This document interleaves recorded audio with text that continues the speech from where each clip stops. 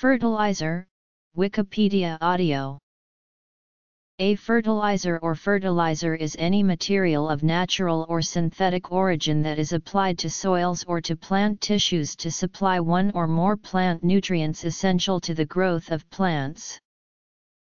Fertilizers enhance the growth of plants. This goal is met in two ways, the traditional one being additives that provide nutrients. The second mode by which some fertilizers act is to enhance the effectiveness of the soil by modifying its water retention and aeration. This article, like many on fertilizers, emphasizes the nutritional aspect. Fertilizers typically provide, in varying proportions, the nutrients required for healthy plant life are classified according to the elements, but the elements are not used as fertilizers. Instead compounds containing these elements are the basis of fertilizers. The macronutrients are consumed in larger quantities and are present in plant tissue in quantities from 0.15% to 6.0% on a dry matter basis. Plants are made up of four main elements, hydrogen, oxygen, carbon, and nitrogen. Carbon, hydrogen, and oxygen are widely available as water and carbon dioxide. Although nitrogen makes up most of the atmosphere, it is in a form that is unavailable to plants. Nitrogen is the most important fertilizer since nitrogen is present in proteins, DNA, and other components. To be nutritious to plants, nitrogen must be made available in a fixed form. Only some bacteria and their host plants can fix atmospheric nitrogen by converting it to ammonia. Phosphate is required for the production of DNA and ATP, the main energy carrier in cells, as well as certain lipids. Mechanism Micronutrients are consumed in smaller quantities and are present in plant tissue on the order of parts per million, ranging from 0.15 to 400 ppm dm, or less than 0.04% dm. These elements are often present at the active sites of enzymes that carry out the plant's metabolism. Because these elements enable catalysts their impact far exceeds their weight percentage. Fertilizers are classified in several ways. They are classified according to whether they provide a single nutrient, in which case they are classified as straight fertilizers. Multinutrient fertilizers provide two or more nutrients, for example N and P fertilizers are also sometimes classified as inorganic versus organic. Inorganic fertilizers exclude carbon-containing materials except ureas. Organic fertilizers are usually plant or animal-derived matter.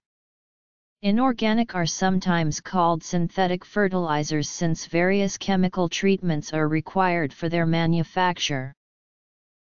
Three main macronutrients, nitrogen, leaf growth, phosphorus, development of roots, flowers, seeds, fruit, potassium, strong stem growth, movement of water in plants, promotion of flowering and fruiting. The main nitrogen-based straight fertilizer is ammonia or its solutions. Ammonium nitrate is also widely used. Urea is another popular source of nitrogen, having the advantage that it is solid and non-explosive, unlike ammonia and ammonium nitrate, respectively. A few percent of the nitrogen fertilizer market has been met by calcium ammonium nitrate 2NH4 number 310H2O. The main straight phosphate fertilizers are the superphosphates. Single superphosphate consists of 14-18% P2O5, again in the form of Ca2, but also phosphogypsum. Triple superphosphate typically consists of 44 to 48% of P2O5 and no gypsum. A mixture of single superphosphate and triple superphosphate is called double superphosphate.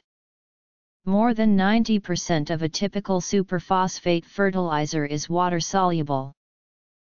These fertilizers are the most common. They consist of two or more nutrient components.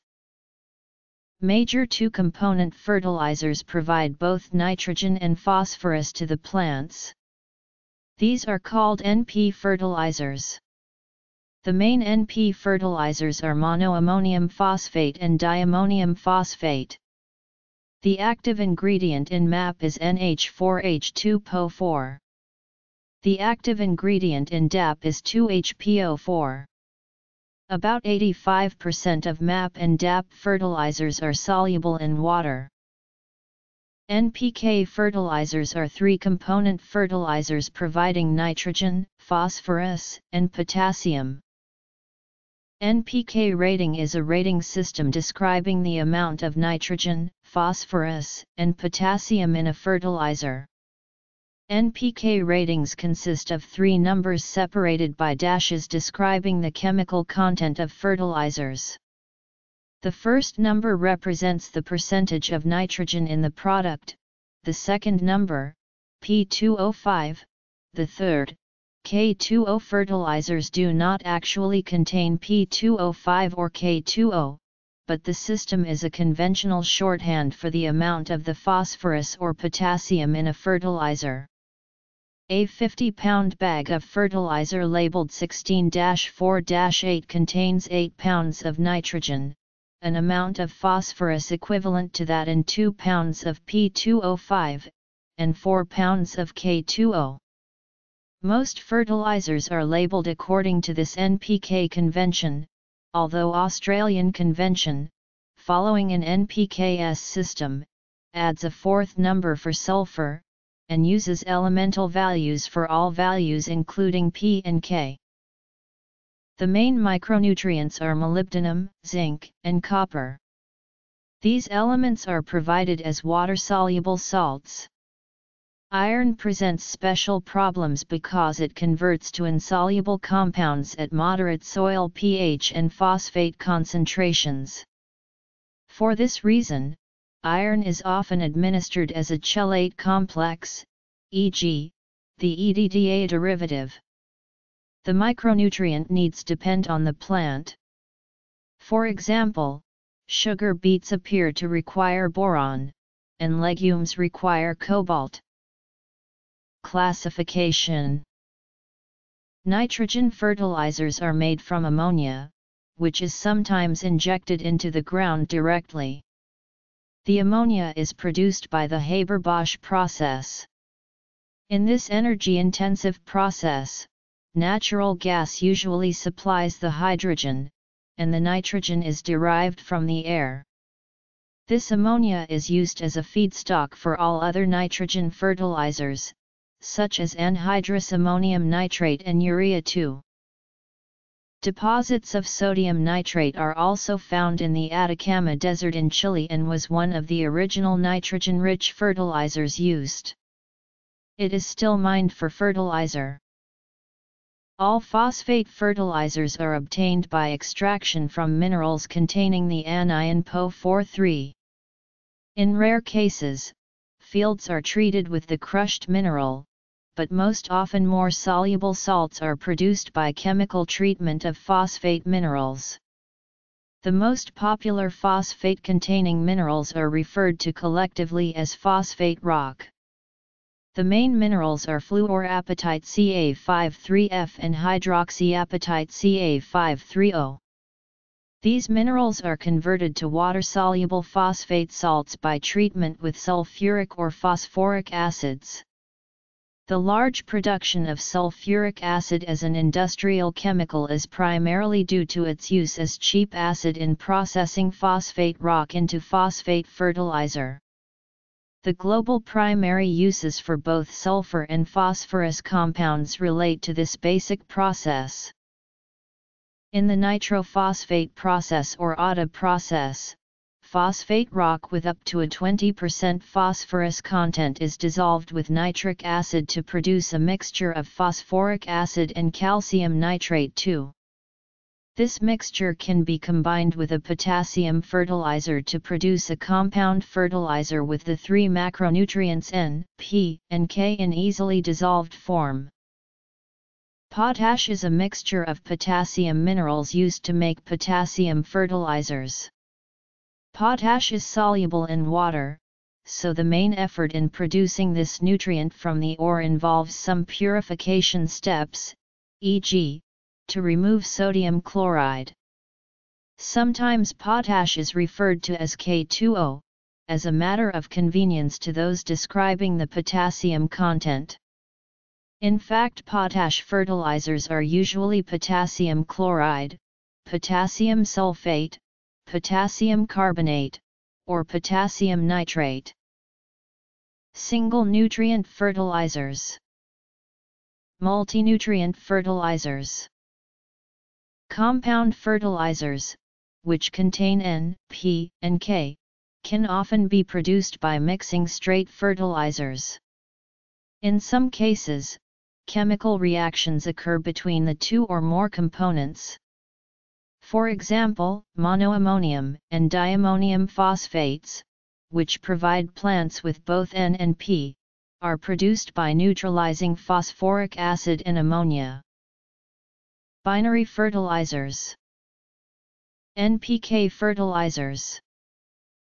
Micronutrients. Production. Nitrogen fertilizers Organic fertilizers can describe those fertilizers with an organic biologic origin that is, fertilizers derived from living or formerly living materials. Organic fertilizers can also describe commercially available and frequently packaged products that strive to follow the expectations and restrictions adopted by organic agriculture and environmentally friendly gardening related systems of food and plant production that significantly limit or strictly avoid the use of synthetic fertilizers and pesticides. The organic fertilizer products typically contain both some organic materials as well as acceptable additives such as nutritive rock powders, ground sea shells, other prepared products such as seed meal or kelp, and cultivated microorganisms and derivatives. Fertilizers of an organic origin include such materials as animal wastes, plant wastes from agriculture, compost, and treated sewage sludge. Beyond manures, animal sources can include products from the slaughter of animals blood meal, bone meal, feather meal, hides, hoofs, and horns all are typical components. Organically derived materials available to industries such as sewage sludge may not be acceptable components of organic farming and gardening, because of factors ranging from residual contaminants to public perception. On the other hand, marketed organic fertilizers may include, and promote, processed organics because the materials have consumer appeal. No matter the definition nor composition, most of these products contain less concentrated nutrients, and the nutrients are not as easily quantified. They nevertheless can offer soil building advantages as well as be appealing to those who are trying to farm slash garden more naturally. In terms of volume, peat is the most widely used packaged organic soil amendment. Since this immature form of coal, which improves the soil by aeration and absorbing water, confers no nutritional value to the plants, it is thus not a fertilizer as defined in the beginning of the article, but rather an amendment. Coir, bark, and sawdust when added to soil all act similarly to peat and are also considered organic soil amendments, or texturizers, because of their limited nutritive inputs. Some organic additives can have a reverse effect on nutrients. Fresh sawdust can consume soil nutrients as it breaks down, and may lower soil pH but these same organic texturizers may increase the availability of nutrients through improved cation exchange, or through increased growth of microorganisms that in turn increase availability of certain plant nutrients. Organic fertilizers such as composts and manures may be distributed locally without going into industry production, making actual consumption more difficult to quantify. Phosphate fertilizers For fuller discussion, see the article on organic fertilizers. Fertilizers are commonly used for growing all crops, with application rates depending on the soil fertility, usually as measured by a soil test and according to the particular crop. Legumes, for example, fix nitrogen from the atmosphere and generally do not require nitrogen fertilizer. Fertilizers are applied to crops both as solids and as liquid. About 90% of fertilizers are applied as solids. The most widely used solid inorganic fertilizers are urea, diammonium phosphate, and potassium chloride. Solid fertilizer is typically granulated or powdered. Often solids are available as prills, a solid globule. Liquid fertilizers comprise anhydrous ammonia, aqueous solutions of ammonia, aqueous solutions of ammonium nitrate or urea. These concentrated products may be diluted with water to form a concentrated liquid fertilizer. Advantages of liquid fertilizer are its more rapid effect and easier coverage. The addition of fertilizer to irrigation water is called fertigation. Slow and controlled release involve only 0.15% of the fertilizer market. Their utility stems from the fact that fertilizers are subject to antagonistic processes. In addition to their providing the nutrition to plants, excess fertilizers can be poisonous to the same plant. Competitive with the uptake by plants is the degradation or loss of the fertilizer. Microbes degrade many fertilizers, e.g., by immobilization or oxidation. Furthermore, fertilizers are lost by evaporation or leaching.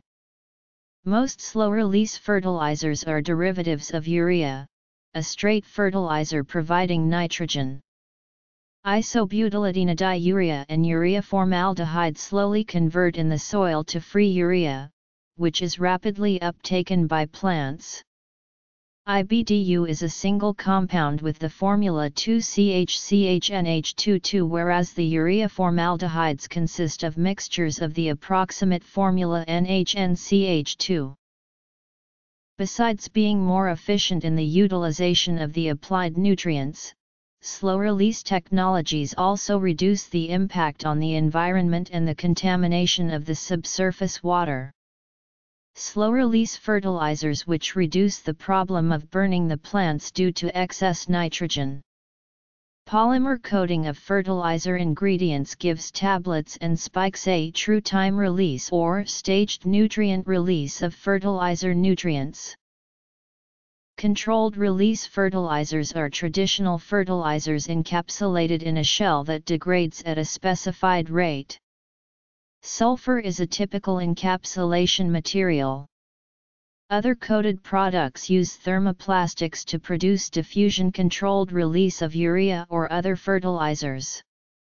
Reactive layer coating can produce thinner, hence cheaper, membrane coatings by applying reactive monomers simultaneously to the soluble particles. Multi-coat is a process applying layers of low-cost fatty acid salts with a paraffin topcoat. Foliar fertilizers are applied directly to leaves. The method is almost invariably used to apply water-soluble straight nitrogen fertilizers and used especially for high-value crops such as fruits. Potassium fertilizers Various chemicals are used to enhance the efficiency of nitrogen-based fertilizers.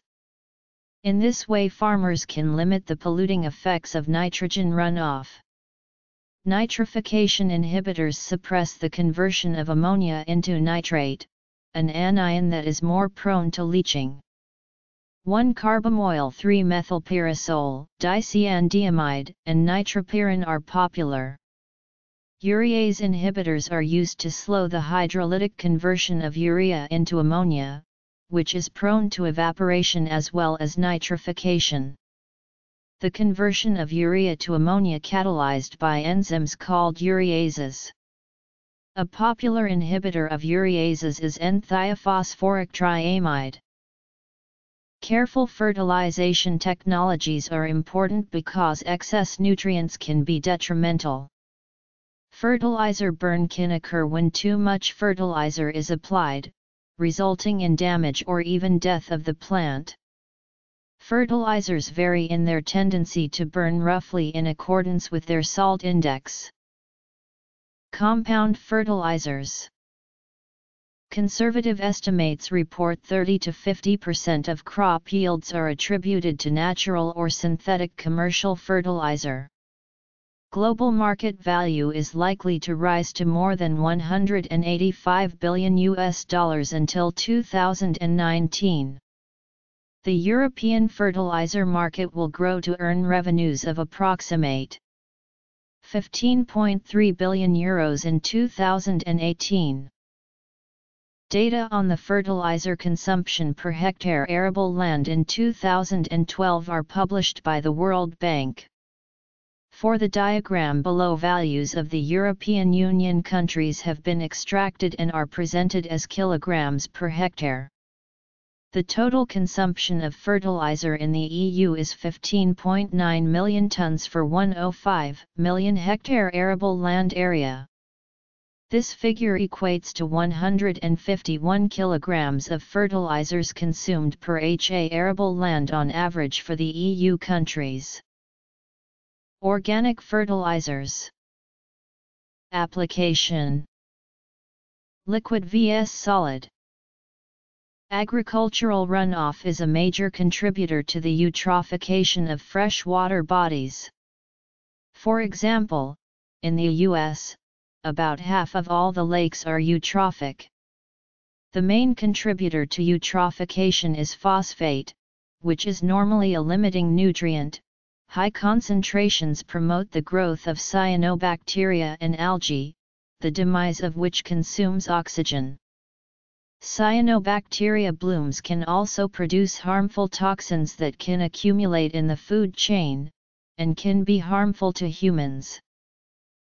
The nitrogen-rich compounds found in fertilizer runoff are the primary cause of serious oxygen depletion in many parts of oceans, especially in coastal zones, lakes and rivers. The resulting lack of dissolved oxygen greatly reduces the ability of these areas to sustain oceanic fauna. The number of oceanic dead zones near inhabited coastlines are increasing. As of 2006, the application of nitrogen fertilizer is being increasingly controlled in northwestern Europe and the United States. If eutrophication can be reversed, it may take decades before the accumulated nitrates in groundwater can be broken down by natural processes. Only a fraction of the nitrogen-based fertilizers is converted to produce and other plant matter the remainder accumulates in the soil or lost as runoff. High application rates of nitrogen-containing fertilizers combined with the high water solubility of nitrate leads to increased runoff into surface water as well as leaching into groundwater, thereby causing groundwater pollution. The excessive use of nitrogen-containing fertilizers is particularly damaging, as much of the nitrogen that is not taken up by plants is transformed into nitrate which is easily leached. Nitrate levels above 10 mg/L in groundwater can cause blue baby syndrome. The nutrients, especially nitrates, in fertilizers can cause problems for natural habitats and for human health if they are washed off soil into watercourses or leached through soil into groundwater. Nitrogen-containing fertilizers can cause soil acidification when added. This may lead to decreases in nutrient availability which may be offset by liming. The concentration of cadmium in phosphorus-containing fertilizers varies considerably and can be problematic. For example, monoammonium phosphate fertilizer may have a cadmium content of as low as 0.14 mg/kg or as high as 50.9 mg/kg. This is because the phosphate rock used in their manufacture can contain as much as 188 mg/kg cadmium and the Christmas Islands. Continuous use of high cadmium fertilizer can contaminate soil and plants.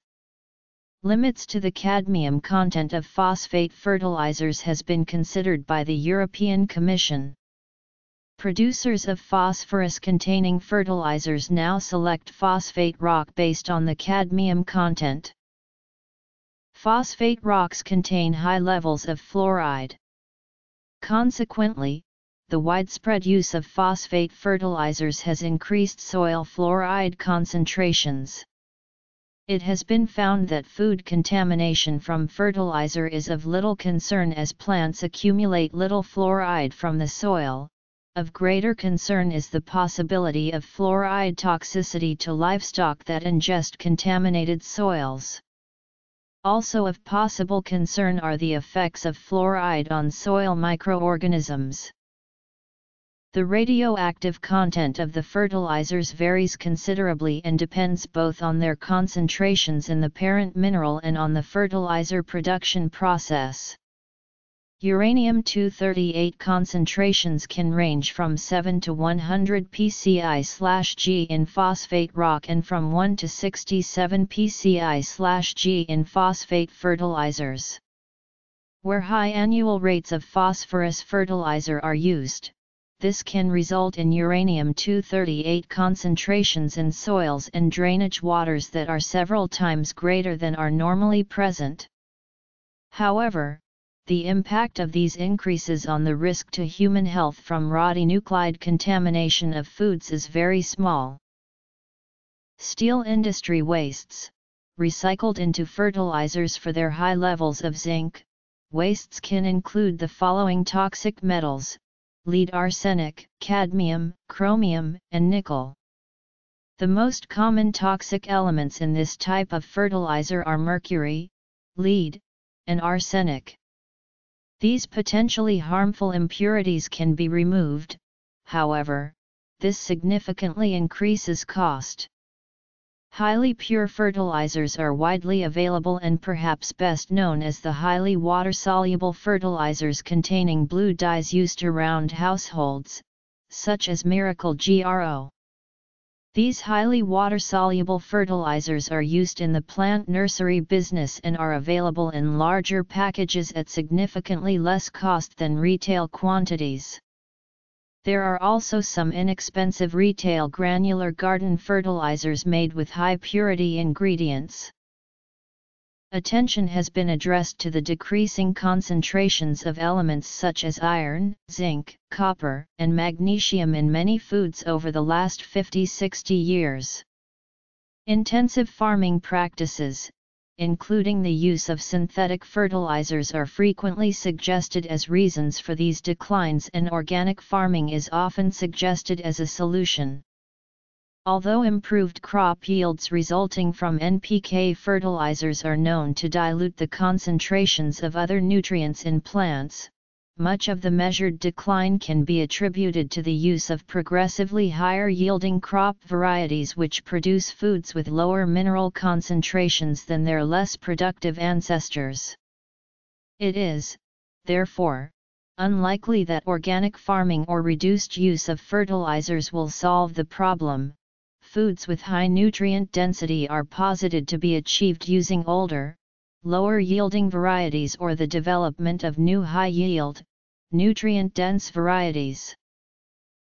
Fertilizers are, in fact, more likely to solve trace mineral deficiency problems than cause them. In Western Australia, deficiencies of zinc, copper, manganese, iron, and molybdenum were identified as limiting the growth of broadacre crops and pastures in the 1940s and 1950s. Soils in Western Australia are very old, highly weathered, and deficient in many of the major nutrients and trace elements. Since this time these trace elements are routinely added to fertilizers used in agriculture in this state. Many other soils around the world are deficient in zinc, leading to deficiency in both plants and humans, and zinc fertilizers are widely used to solve this problem. High levels of fertilizer may cause the breakdown of the symbiotic relationships between plant roots and mycorrhizal fungi.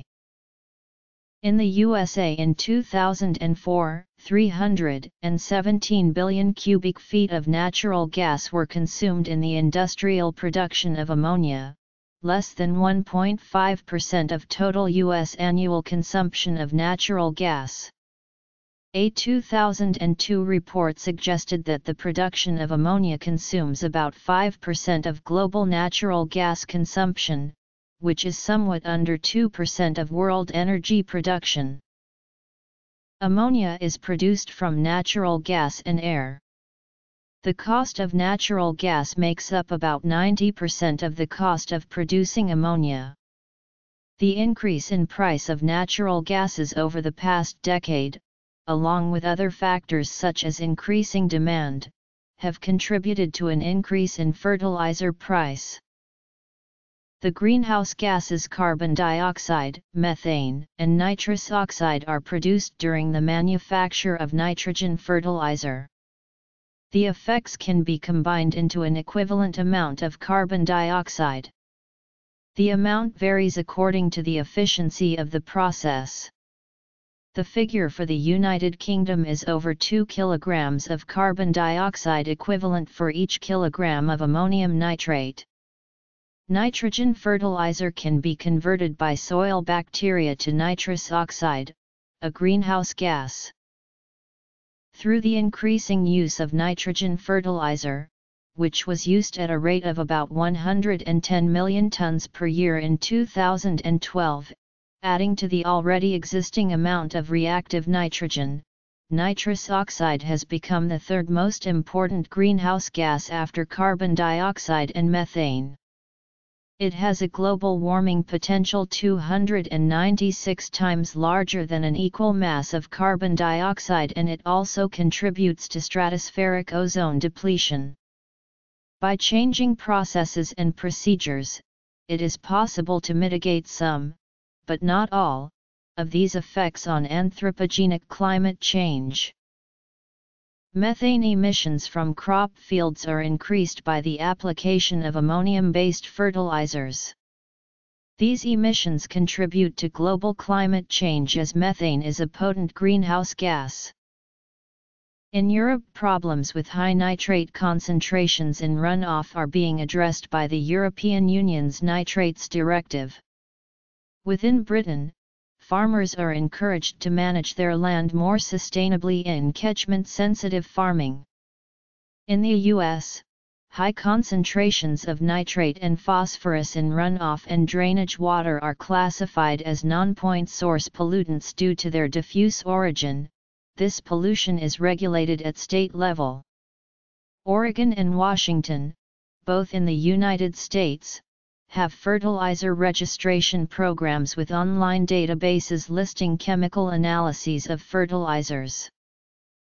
Management of soil fertility has been the preoccupation of farmers for thousands of years. Egyptians, Romans, Babylonians, and early Germans all are recorded as using minerals and or manure to enhance the productivity of their farms. The modern science of plant nutrition started in the 19th century and the work of German chemist Justus von Liebig, among others.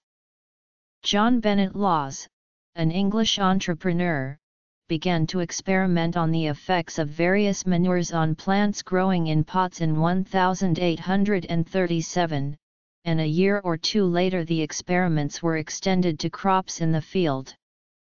One immediate consequence was that in 1842 he patented a manure formed by treating phosphates with sulfuric acid, and thus was the first to create the artificial manure industry. In the succeeding year he enlisted the services of Joseph Henry Gilbert, with whom he carried on for more than half a century on experiments in raising crops at the Institute of Arable Crops Research. The Birkeland-Eyde process was one of the competing industrial processes in the beginning of nitrogen-based fertilizer production. This process was used to fix atmospheric nitrogen into nitric acid, one of several chemical processes generally referred to as nitrogen fixation. The resultant nitric acid was then used as a source of nitrate. A factory based on the process was built in Rjukan and Notodden in Norway, combined with the building of large hydroelectric power facilities. The 1910s and 1920s witnessed the rise of the Haber process and the Ostwald process. The Haber process produces ammonia from methane gas and molecular nitrogen. The ammonia from the Haber process is then converted into nitric acid in the Ostwald process. The development of synthetic fertilizer has significantly supported global population growth. It has been estimated that almost half the people on the earth are currently fed as a result of synthetic nitrogen fertilizer use. The use of commercial fertilizers has increased steadily in the last 50 years, rising almost 20-fold to the current rate of 100 million tons of nitrogen per year. Without commercial fertilizers it is estimated that about one-third of the food produced now could not be produced. The use of phosphate fertilizers has also increased from 9 million tons per year in 1960 to 40 million tons per year in 2000. A maize crop yielding 6-9 tons of grain per hectare requires 3150 kg of phosphate fertilizer to be applied, soybean crops require about half, as 20-25 kg per hectare. Yara International is the world's largest producer of nitrogen-based fertilizers. Controlled nitrogen release technologies based on polymers derived from combining urea and formaldehyde were first produced in 1936 and commercialized in 1955. The early product had 60% of the total nitrogen cold water insoluble, and the unreacted less than 15%. Methylene ureas were commercialized in the 1960s and 1970s, having 25% and 60% of the nitrogen as cold water insoluble, and unreacted urea nitrogen in the range of 15% to 30%. In the 1960s, the Tennessee Valley Authority National Fertilizer Development Center began developing sulfur-coated urea. Sulfur was used as the principal coating material because of its low cost and its value as a secondary nutrient. Usually there is another wax or polymer which seals the sulfur. The slow release properties depend on the degradation of the secondary sealant by soil microbes as well as mechanical imperfections in the sulfur. They typically provide 6 to 16 weeks of delayed release in turf applications. When a hard polymer is used as the secondary coating, the properties are a cross between diffusion-controlled particles and traditional sulfur-coated. Slow and controlled release fertilizers. Foliar application. Chemicals that affect nitrogen uptake. Overfertilization. Statistics. Environmental effects. Water. Nitrate pollution. Soil. Acidification. Accumulation of toxic elements. Cadmium. Fluoride. Radioactive elements. Other metals. Trace mineral depletion. Changes in soil biology. Energy consumption and sustainability. Contribution to climate change. Atmosphere. Regulation. History.